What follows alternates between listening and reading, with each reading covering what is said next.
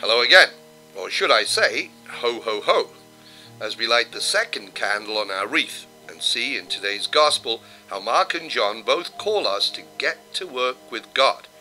And we can do this in many different ways.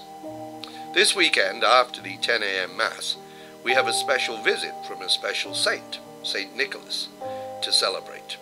Now, he is really uh, a one who did the hard work uh, for God. It seems St. Nicholas was a wealthy boy who became a priest and then a bishop and who dedicated his life to caring for others. There are all sorts of colourful stories of his aiding groups of people who then adopted him as their patron saint.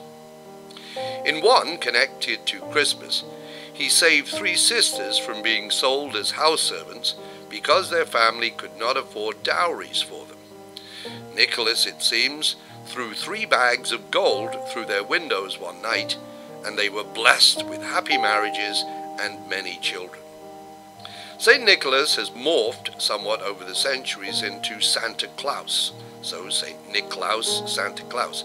But today might be a good opportunity to connect the real Santa Claus to the Advent teachings about God's work for justice.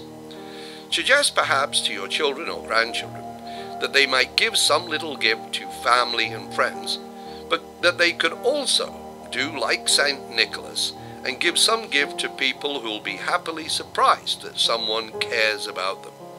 Of course, the poor should be our special concern, and helping them will truly make Jesus happy and even gladden our own hearts. Stay warm and happy, and may God bless you